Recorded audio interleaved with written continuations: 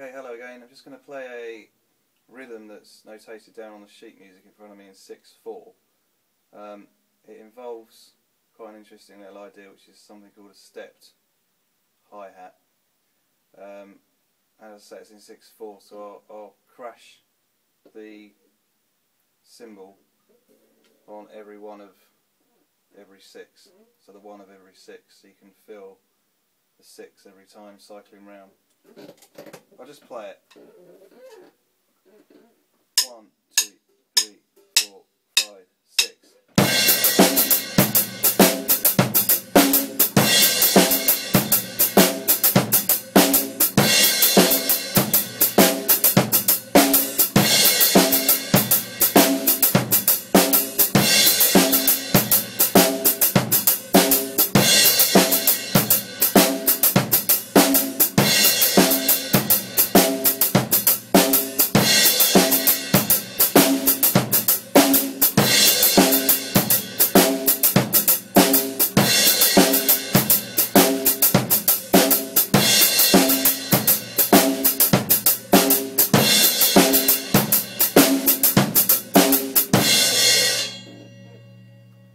that.